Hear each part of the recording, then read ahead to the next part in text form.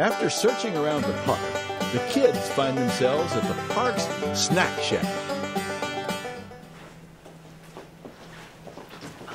What kind of food can you cook with just a microwave? Just a microwave. Hi guys, I'm Percy Spencer, inventor of this bad boy. But let's cut to the chase. Hungry? Are you sick of waking up at 5 a.m. just to cook dinner? Tired of going through the trouble of starting a fire? Are stoves just too dangerous? Well, then you need a microwave. No, I just want some food. I'm starving. Yeah, what's on the menu? Well, with the microwave, the opportunities are endless since almost all food has some water in it. What does water have to do with it? Well, you see, microwaves cook your food by sending radiation to it. And then, Radiation? yeah, That's what turns people into mutant monsters. Yeah, it killed someone too. That's one scientist, Marie Curie, who studied radiation. It killed a Marie? My name is Marie! Get that thing away from me! Calm down, ladies. This is safe radiation in the form of microwaves. It has just enough energy to make the water and fat molecules vibrate and heat up your food. What's a molecule? Molecules are made up of atoms. No way. My name's Adam, and I don't look anything like that. No, A T O M S, atoms, are the smallest bits of matter.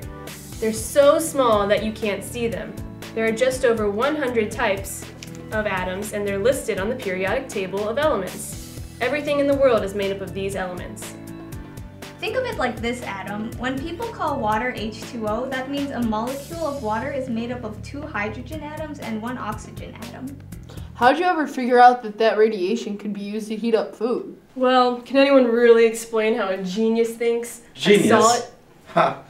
This guy was working on radar. You know, the kind that ships and airplanes use to determine where objects are. Anyways, microwaves use radar too. So when Percy here would stand in front of the machine, his chocolate bars would keep melting in his pockets. We all thought he kept having accidents until he figured out that it was just the microwave's fault. What kind assistant are you? Do you know how many chocolate bars I had to let melt in my pocket before I perfected this beauty? The first model weighed 750 pounds and was 6 feet tall. Zero appreciation. Yeah, sure. You meant for the chocolate to melt in your pockets. Um, right, let's get back on track. As I was saying, the possibilities are endless. Look at how many great things you can do with the microwave. Watch it turn this delicious potato into french fries.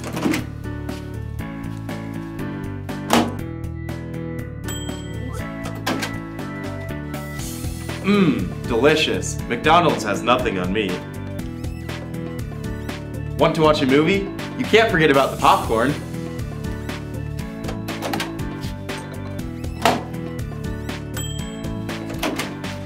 It's overflowing with popcorn. Anybody seen Toy Story 2 yet? After that popcorn, we're gonna need some dessert. Who wants some apple pie?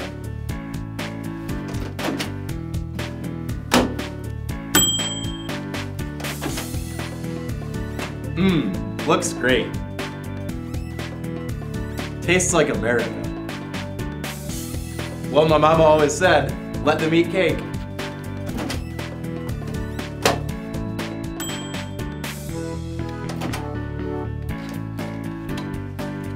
Science rocks.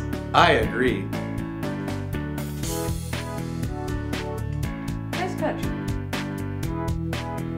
How about a nice chicken dinner? Can I get a volunteer from the audience? Me! I'm an expert at using microwaves. Perfect. Here you go.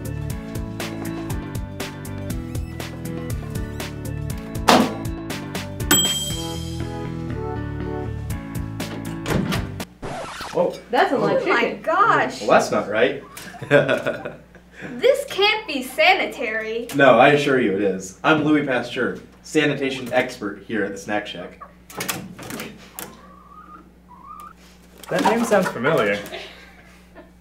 As it should. I discovered that microorganisms can grow in our food. Some bacteria are good for us, and others are bad, like the ones that spoil milk, or the ones that give us food poisoning. Hey, my family buys pasteurized milk. Does your work have anything to do with that? Yes, pasteurization is a process that was named after me. It involves heating up beverages to kill the microorganisms that will prevent you from getting sick. Wow, so your scientific work led to discoveries and uh, technology that makes food safe to eat. Yeah. Way to go! Hey, don't forget about me and my discovery. I mean, I can make pie. Oh, we won't, and you'll get your just desserts too. Run! oh, you shut up.